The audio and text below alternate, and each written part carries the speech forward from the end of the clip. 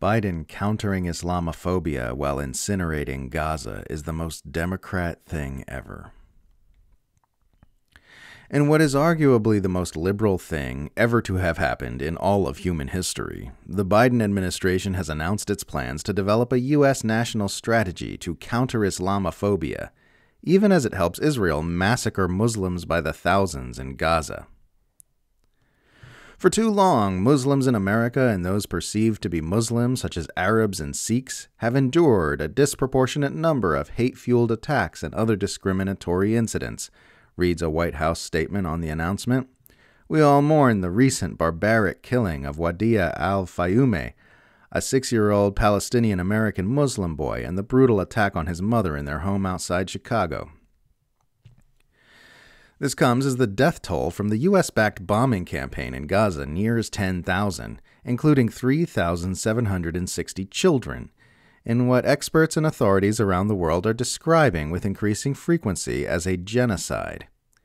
If these people were Jewish instead of Muslim, they would not be trapped in a giant concentration camp where the IDF hammers them with a nonstop barrage of military explosives but because of their ethnicity, they are subjected to this horror.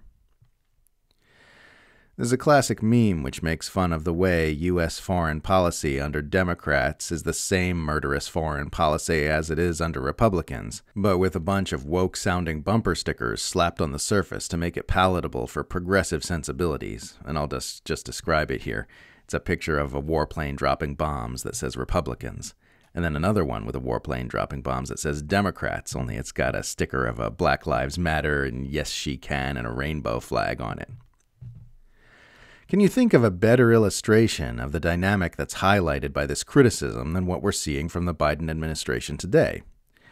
This is, after all, the same administration whose Defense Department recently said they are putting zero limits on what Israel may or may not do with the weapons it's being given by the United States. We are not putting any limits on how Israel uses the weapons that is provided, Deputy Pe- Pentagon Press Secretary Sabrina Singh told the press on Monday. That is really up to the Israel Defense Force to use and how they are going to conduct their operations. But we're not putting any constraints on that. As in these Times reports, this same administration is also trying to get permission to conduct arms deals with Israel without congressional supervision in complete secrecy and without accountability to the voting public.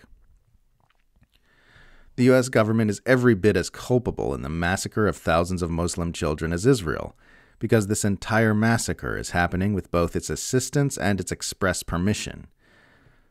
But here is its government pretending to care deeply that one Muslim child was killed by an Islamophobic psycho in America. This is everything that's disgusting about the Democratic Party. It puts a warm, friendly face on the most murderous and tyrannical power structure on earth, posing as a defender of marginalized groups while dropping bombs on the most marginalized populations on this planet. It selects a high number of women and racially diverse officials for its cabinet positions to convey the illusion that it has transcended the abusive bigotries of the past while subjecting impoverished brown skinned foreigners to a non-stop barrage of high tech explosive munitions and massacres that would be the envy of the worst white supremacist imperialists in history. A much more accurate image for the United States than the one it tries to give itself with its fraudulent progressive virtue signaling would be the one it was given by protesters who interrupted Secretary of State Antony Blinken's testimony before the Senate Appropriations Committee on Tuesday. Demonstrators painted their hands red to show the blood this administration has on its own hands, resulting in viral images of Blinken's face surrounded by bloody hands circulating all over the internet. That's what the U.S. empire really is. Not the liberal bastion of human rights it presents itself as, but a blood spattered psychopathic murder machine which maintains its domination of this planet with a nonstop butchery of human beings. The longer the massacre in Gaza goes on, the more people are catching a glimpse behind the plastic smiley face mask of the U.S. empire and seeing the cold eyed killer underneath.